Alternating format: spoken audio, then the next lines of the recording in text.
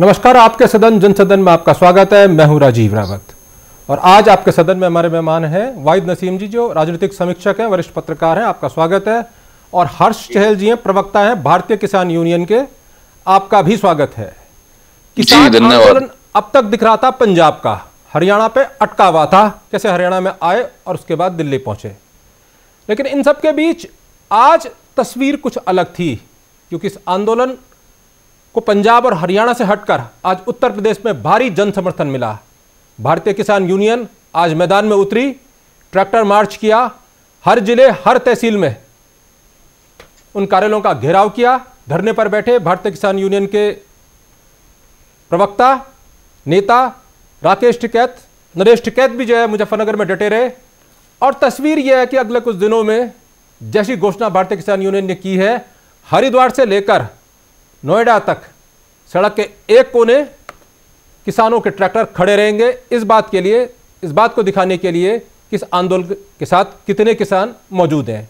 इस बीच एक और खबर आ रही है कि कल बैठक होगी भारतीय किसान यूनियन की अगुवाई में एसकेएम की, संयुक्त किसान मोर्चे की। यह भी कहा जा रहा है कि तकरीबन देश के 500 संगठन इसमें प्रतिभाग करेंगे और आगे का फैसला करेंगे कि दिल्ली कूच कब और कैसे किया जाए। और संभव यह भी है कि कल की बैठक के बाद 23 तारीख को दिल्ली कूच होगा क्योंकि कुछ रास्ते हरियाणा के रास्ते बंद किए हैं लेकिन बाकी राज्य अब इसमें भागीदारी कर रहे हैं तो यह आंदोलन और बड़ा होता जा रहा है। मैं पहले आपके पास आना चाहूँगा चहल साहब। आप इस आंदोलन में कूद गए हैं और खासतौर पर आपके नेता तो आज धरने पर बैठे और अब एक नई जान आ गई इस आंदोलन में उत्तर प्रदेश के शामिल होने से। देखिए हम डे फ़र्स्ट से इस आंदोलन में उनके उन किसानों के साथ हैं। जो। लोग पाँच पाँच सौ सात सात सौ किलोमीटर से पंजाब के दूर अलग अलग कोनों से आए थे। परंतु एक चीज़ थोड़ी सी इसमें क्या था जो कोल दी गई थी वो एसकेएम की नहीं थी। जी जी। वो एसकेएम राजनीतिक की कोल थी। एसकेएम की कोल 14 मार्च की दिल्ली जाने की है और उसमें हम लोग जाएँगे। जी जी। भारतीय किसान यूनियन की सत्रह तारीख को मासिक पंचायत हुई थी सिसोली में। उसमें टिकैत साहब ने निर्णय लिया कि वे पूरे प्रदेश भर में जिला मुख्यालय पर आज प्रदर्शन होगा 21 फरवरी को। जी जी। सब चीज़ का रिज़ल्ट आप सभी लोगों के सामने है। आप देख सकते हैं कितनी मजबूती से किसान आंदोलनित किसानों के साथ है। उत्तर प्रदेश का किसान भी इसके आंदोलन में कूद गया है। कूद गया है लेकिन जब आप भी आप तैयारी करेंगे और आपके लिए भी बैरिकेटिंग लगा दी जाएगी कटीले तार कीले तो आप भी कुछ ऐसी तैयारी करेंगे जैसे पंजाब के किसानों ने आज की जेसीबी और ये मशीन दिख भी रही है हैवी मशीन देखिए अपना अपना काम है पुलिस का काम बैरिकेडिंग लगाना है कटीले तार लगाना है ये तो सरकार के इशारे पर सब काम होते हैं। हमारा काम आंदोलन करने का है पुलिस का जो काम है पुलिस अपना काम करेगी सरकार का जो काम है वो सरकार करेगी। हम अपना काम करेंगे हमारा काम आंदोलन करना है। टिकैत साहब के नेतृत्व में हम आंदोलन करेंगे। अच्छा ये बतलाइएगा कि एक किसान के मृत्यु की खबर आ जाई। हालाँकि पुलिस ने उस, बा, उस बात को अफवाह कहा। आपके पास क्या सूचना है?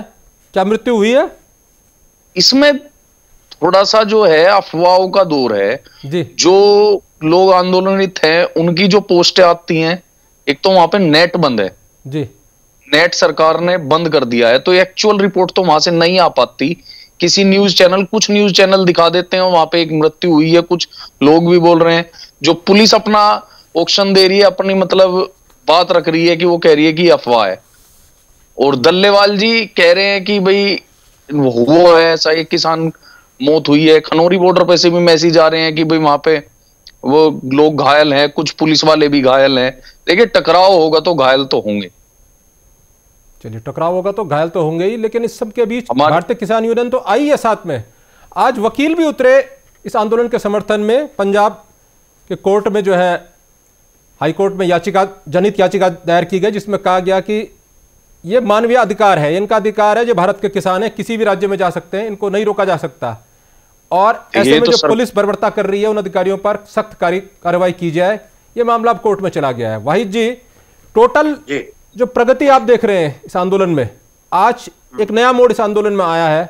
आपको क्या लग रहा है कल तक ये आंदोलन एक राज्य का सा आंदोलन प्रतीत हो रहा था या दिखाया जा रहा था? लेकिन अब ये शंका दूर हो गई है कि एक राज्य का आंदोलन नहीं है। एमएसपी चाहिए तो भारत के सभी किसानों को चाहिए। आज इस आंदोलन तो... को का अपग्रेडेशन आप किस रूप में देख रहे हैं? देखिए राजीव जी क्या मेरी आवाज़ बाउंस कर रही है? क्या आपको ठीक मिल रही है आवाज़? जी जी जी। जी देखिए मुझे मेरी आवाज़ बाउंस बैक कर रही है। अगर आपका पीसीआर ओके करे तो मैं अपनी बात नहीं नहीं ठीक है ठीक है। आप बोलिए। ओके ठीक है। देखिए मैं आपको यहाँ ये कहना चाहता हूँ कि किसान पूरे देश का एक है। अगर एमएसपी मिलती है तो एमएसपी जो है वो सभी किसानों को मिलेगी। और एक बात मैं यहाँ बहुत वाजे करना चाहता हूँ। असल में क्या है कि कुछ लोग एसी कमरों में बैठ के या मंत्रालयों के टैग लेके भारतीय किसानों को अब उनके सिर्फ़ कपड़े या पहनावे से उनको अकल के दायरे में थोड़ा कम समझते हैं, जबकि ये नहीं जानते कि सिर्फ़ ऐसी कमरों में बैठ के आप हिंदुस्तान को नहीं समझ सकते, हिंदुस्तान की जमीनी हकीकत को नहीं समझ सकते। भारत का जो बुज़ुर्ग है, जो गाँव में रहता है, जो ठेठ भाषा भी बोलता है, वो इन मंत्रियों से कहीं ज़्यादा अकल रखता है। मैं किसानों से जो मेरी चर्चा हुई है, मैं आपको वो बताना चाहता हूँ। गाँव में शायद मंत्रियों को ये सिर्फ़ ब्रीफ किया गया होगा, उनको पता नहीं होगा, क्योंकि इनकी अकल का दायरा माफ़ करना, राजीव जी आप जानते हैं, हम इनके साथ रोज ही उठते बैठते हैं, बात करते हैं, इनकी अकल का दायरा हमको पता कितना होता है। यहाँ जो दर, जो प्रपोजल किसानों को दिया गया था कि हम इस पे एमएसपी दे सकते हैं, वो क्या थी? दलहन। अगर आप देखें, दलहन और तेल की, अगर तिलहन और दलहन की आप बात करें एमएसपी देने की तो ये झुंझुना जो पकड़ाने की कोशिश की जा रही थी, सरकार ने पिछले साल 2022 में भी 2023 में भी दलहन का इंपोर्ट किया है। तिलन का इंपोर्ट किया है। यानी जो तुम विदेशों से इंपोर्ट कर रहे हो अगर फार्मर उसको यहाँ पर जो है वो आ, आ, उगाएगा तो आप उस पर एमएसपी दे सकते हैं क्योंकि आपको वो इंपोर्ट करना पड़ रहा है। मगर जो फार्मर का प्रोडक्ट जो उसके खेत में ज़्यादा उगता है, जो बीमारियों से भी महफूज रहता है, जिसकी शॉर्टेज है मार्केट में, उसको एक्सपोर्ट के रास्ते आप नहीं खोलना चाहते। क्योंकि अगर एक्सपोर्ट के रास्ते खुलेंगे तो देश के अंदर जो है फार्मर के प्रोडक्ट के रेट हाई हो जाएँगे। रेट हाई होंगे तो फिर उन गोदामों में कैसे भरा जाएगा, जिनमें स्टोरेज करके ब्लैकमेलिंग की जाती है, और आम कंज्यूमर को महँगा दिया जाता है। किसान का जो माल है वो सस्ता खरीदा जाता है। तो ये जो सिचुएशन राजीव जी है भारत का किसान इसको समझता है वो चाहे राजनीतिक कार, राजनीतिक कारणों से किसी वजह से आंदोलन से जुड़े न जुड़े मगर हर किसान को अपनी स्थिति का पता है। कर्जों की स्थिति में अगर आपको एक सबूत दू ना माफ़ करना उत्तर प्रदेश की बात कर लेता हूँ। बाकी छोड़िएगा मैं संत कबीर नगर के डाटे को वैसे ही अपने डॉक्टर साहब से जो वहाँ जो है वो उसकी प्लानिंग कर रहे थे तो प्लानिंग करते करते उनके सामने जो सबूत जो जो, जो चीज़ आई एक डिस्ट्रिक्ट का बैंकर्स का जो कर्जा किसानों के ऊपर है वो अरबों रुपए में है।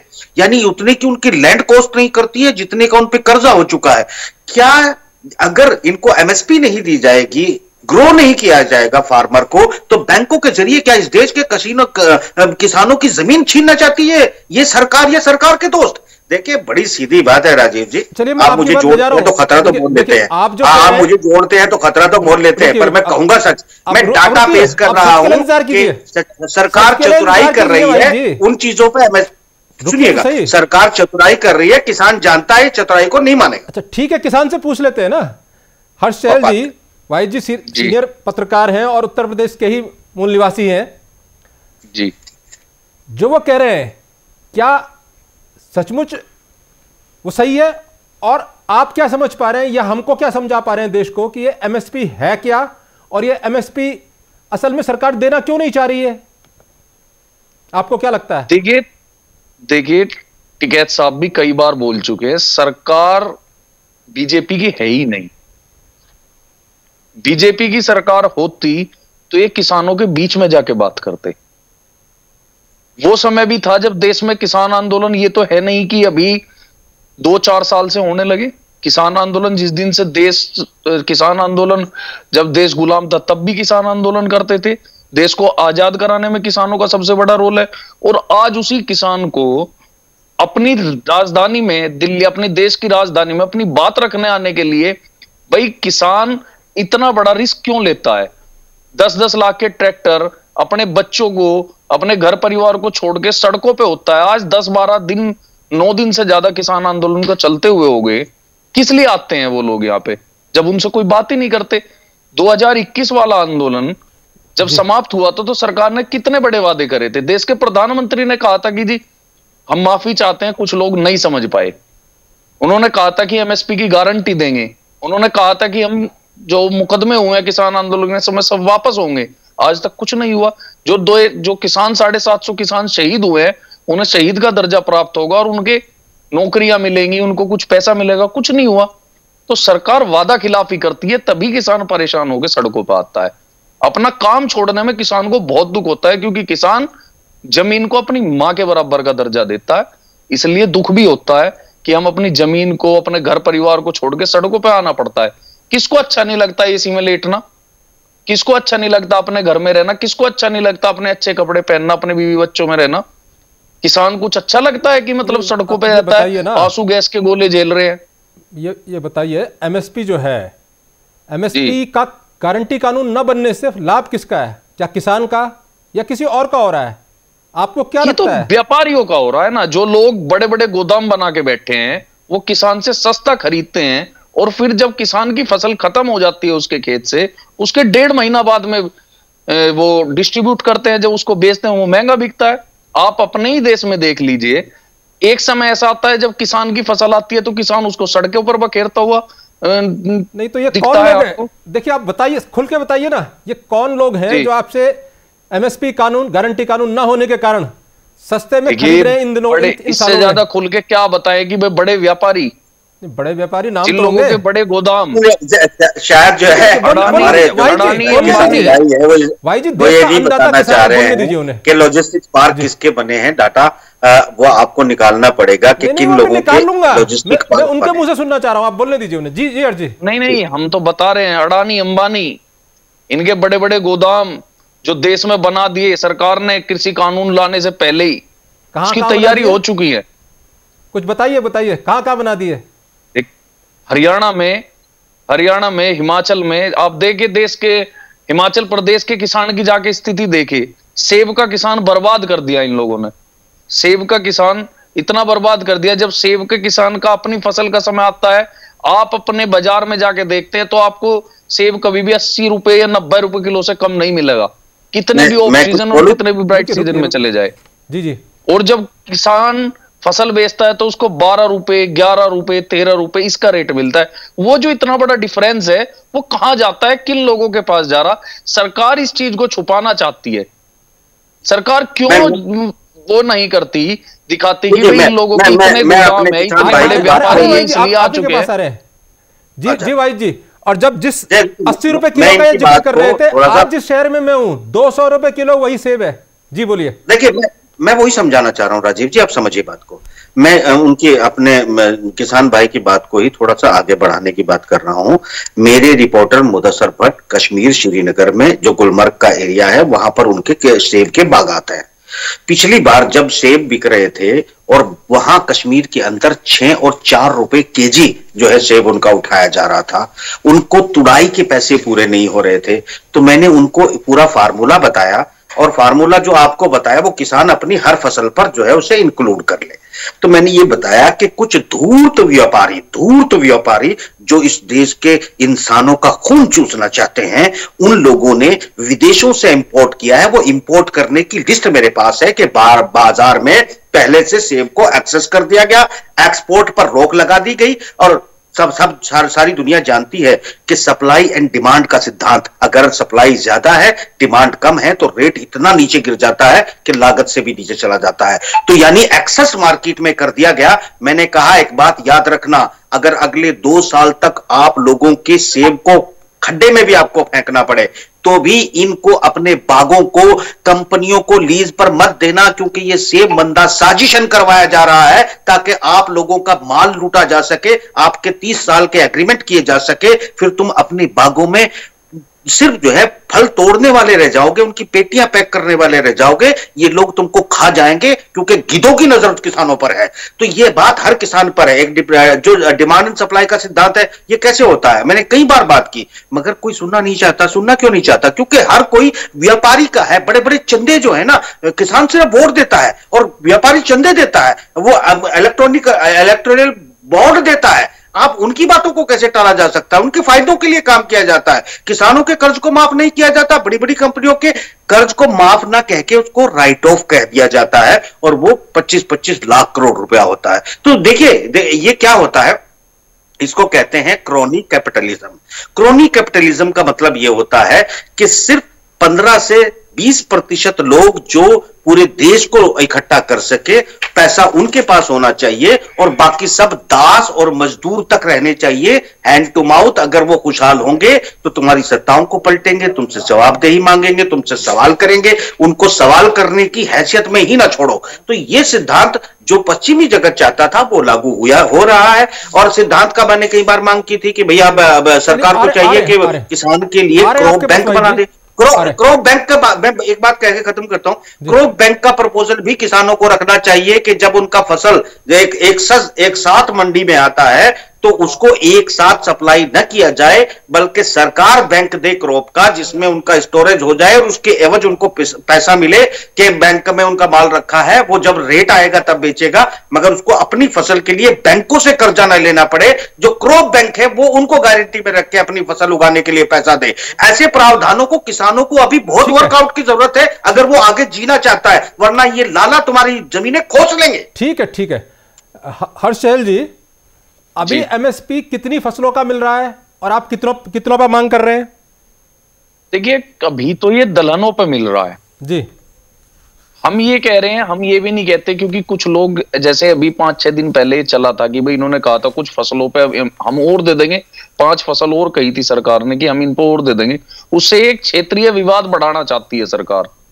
हम तो ये कह रहे हैं टोटल भाई जो भी किसान का है उसे दे दो। जी।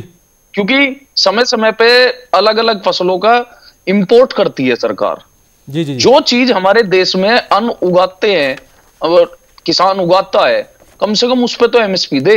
जो बहुतायत में है जो लोग है अब हमारे उत्तर भारत में आप ये देख लीजिए चार पाँच छह फ़सल होंगी सात होंगी दस होंगी। अभी जो ये सीएसीपी होता है जी। जो, जो सिफारिश करता है कि क्या कितना दाम होगा एमएसपी इसमें मेंबर होते हैं अध्यक्ष होता है। क्या किसान के प्रतिनिधि भी मेंबर है आप लोगों के इसमें? देखिए कुछ नहीं है सब सिस्टम इन्होंने गोलमोल करके सब सरकार के हिसाब का है। कौन से किसान है कौन से किसान नेता है जो इस कमेटी में है हमें तो वही नहीं दिखाई देते। इन्होंने आंदोलन के समय भी एक कमेटी बनाई थी। जी अच्छा ये बताइए अभी जो एमएसपी घोषित हैं क्या ये सी टू प्लस फिफ्टी है? सी टू प्लस तो लागू plus fifty percent plus fifty तो इन्होंने लागू ही नहीं किया किसी चीज़ में। सी टू प्लस फिफ्टी अगर ये कर दें तो किसान की समस्या खत्म हो जाए। अगर C two plus fifty Swaminathan ji की जो रिपोर्ट है उसके अनुसार ये कर दे तो किसान को अपनी फ़सल का दाम इतना अच्छा मिलने लगे किसान खेती क्यों छोड़ेगा? आज देश में आप देश ये देखिए देश का जो युवा किसान है वो खेती की तरफ़ जाना ही नहीं चाहता। अच्छा सी टू प्लस फिफ्टी कर भी देंगे तो आपका समस्या सॉल्व हो जाएगी। नहीं सी टू प्लस फिफ्टी जो स्वामीनाथन जी ने रिपोर्ट दी थी उसके हिसाब से अगर वो लगे तो किसान की कम से कम जो लागत आती है उसके हिसाब से भाव तो मिलने लगे। लेकिन उसमें गारंटी तो नहीं है ना कि खरीदेंगे अभी तो ये नीति है। सी टू प्लस रेट घोषित कर दिया आपके और आपने माल डंप तो कर दिया माल सड़ गया सरकार तो नहीं लेगी उसके बाद ना फिर? इसीलिए तो एमएसपी मांग रहे हैं। इसीलिए गारंटी मांग रहे हैं। इसीलिए तो गारंटी कानून मांग रहे हैं। एमएसपी तो है ही। इसीलिए तो कहा आपसे गारंटी कानून इसीलिए तो मांग रहे हैं। भाई जी अभी जब ये ऐड हुए हैं आप इनकी भारतीय किसान यूनियन और अब इनका इन स्केल जो इनका पूरा संगठन है एसकेएम आप देश हाँ। में या खासतौर पर उत्तर प्रदेश के हरित बेल्ट में आप भी वहीं से आते हैं इनकी ताकत इनकी क्षमता कितनी मानते हैं? क्योंकि चुनाव का मौसम है और चुनाव के मौसम में अक्सर ताकत देख के फैसले होते हैं। यदि ज़मीन पर इनकी ताकत ज़्यादा दिखेगी तो सरकार को भी झुकना पड़ेगा। एक बहुत बड़ी एक कड़वा सच बोलूँगा उसे आपको जो है मेरे ख्याल से जो है उसे आज आज तक शायद बहुत अच्छे से डिस्क्राइब नहीं किया गया मुझे करना पड़ेगा। देखिए किसान अगर हम यूपी में इस संगठन की बात करें या किसान यूनियन की बात करें बाकी के जितने किसान यूनियन यहाँ पर हैं उत्तर प्रदेश में उनकी अगर मैं बात करता हूँ तो यहाँ पर एक पर, ये है कि इसमें मुस्लिम्स हैं और हर जाति की धर्म के लोग जो हैं इसमें आ, किसान हैं मगर ज़्यादातर इस किस इस आंदोलन को जाट आंदोलन मान लिया जाता है। जब पश्चिमी उत्तर प्रदेश में किसान आंदोलन कोई जो है प्रोटेस्ट करता है तो उसको माना जाता है कि ये किसानों का नहीं जाटों का आंदोलन है। भारतीय जनता पार्टी ने बड़ी चतुराई से हालाँकि वो हकदार थे बहुत पहले हकदार थे चौधरी चरण सिंह जी को भारत रत्न बहुत पहले मिल जाना चाहिए था कांग्रेस को ही देना चाहिए था।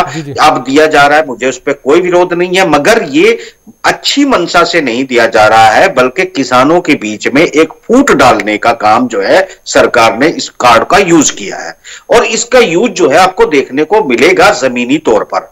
यहाँ जब इस बार आंदोलन किसानों का होगा, किसान ज़रूर जुड़ेंगे, जाएँगे, मगर कुछ किसान भी इसमें से बैकआउट भी करेंगे, क्योंकि जो एक हवा बना रखी है, ये शायद सच भी हो तो ये हवा जो है, वो ये कहे कि चौधरी जैन सिंह जो है बीजेपी में जाने वाले तो इसका मतलब ये मान लिया जाता है यहाँ पे, जबकि मेरे ख्याल से अगर जाट भाइयों के प्रतिशत को मानूं तो वो पंद्रह बीस प्रतिशत फ़ार्मिंग होगी उनकी। बाकी सब दूसरी जाति धर्म के लोगों के पास ही है। मगर उसके बाद भी इस पूरे आंदोलन को जाट आंदोलन मान लिया जाएगा, और वो आंदोलन में आगे नहीं बढ़ेंगे तो बाकी लोग भी आगे नहीं बढ़ेंगे। ये उत्तर प्रदेश के फ़ार्मिंग का जो मामला है, ये काफ़ी उलझा हुआ है, इतना सीधा नहीं है जितना आप मान रहे हैं। ये कम से कम ये ये बात इस पर किसी ने डिस्कस नहीं किया। मैं आज पहली बार बोल रहा हूँ और ये जो बोल रहा हूँ वो सत्य है क्योंकि आपको पता मैं सच बोलने के सिवा कोई काम नहीं करता। पर इस षड्यंत्र में पॉलिटिकल पार्टियाँ इन्वॉल्व हैं। इस पॉलिटिकल पार्टियों से किसानों को और किसानी को शायद बचाने की ज़्यादा ज़रूरत है। और अगर किसानों का भला नहीं होगा तो देश का भला नहीं होगा।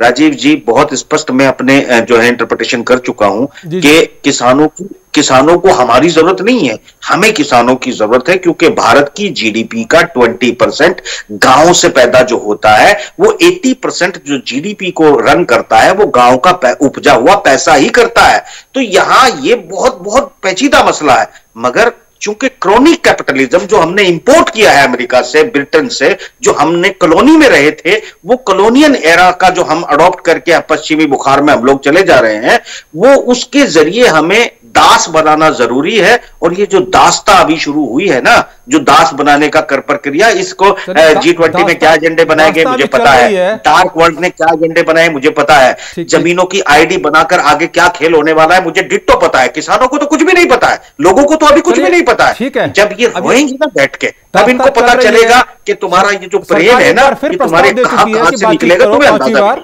और बातचीत से कोई मार्ग निकलेगा ये सरकार ने कहा ये कृषि मंत्री ने कहा अर्जुन मुंडा जी ने। हर्ष चैल जी चलते चलते मैं आपसे कुछ सवाल पूछना चाहता हूँ। कल की बैठक में एसकेएम की बैठक में कितने संगठन शामिल हो रहे हैं देश भर से?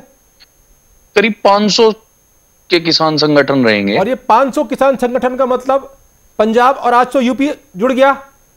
अब इस 500 संगठन का मतलब किस किस राज्य में यह आंदोलन जो है फैल जाएगा? तो देखिए देश के किसान हैं। जी। पहले भी मीडिया ने दिखाया नहीं मीडिया ने तो, तो आपको अवसर आप बताइए ना। मीडिया क्या दिखाती है? छोड़िए। आप बताइए ये इस 500 की ताकत का मतलब क्या हुआ? ये आंदोलन देश भर का हो जाएगा कल से? मैं बताता हूँ मीडिया की बात आती है आप लोग ऐसे क्यों करने लगे? तो मैं बता देता हूँ आपको जी जी। जो मीडिया ने दिखाया जो सच्चाई है वो वास्तविकता आपको भी पता है। मीडिया दिखाती है पश्चिम उत्तर प्रदेश और हरियाणा पंजाब का आंदोलन और पास बैठेंगे आप दिख नहीं पा रहे हैं पूरे।